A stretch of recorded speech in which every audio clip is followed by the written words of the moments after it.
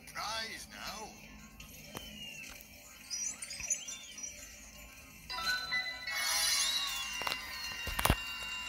Your monster was crowned King of Letters and could at last read his repair book to put together all the fixed parts of his spaceship.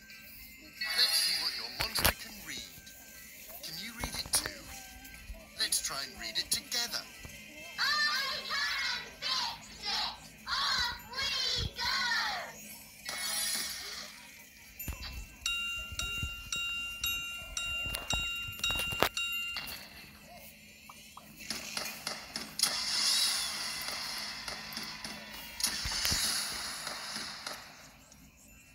you for helping us with our letters.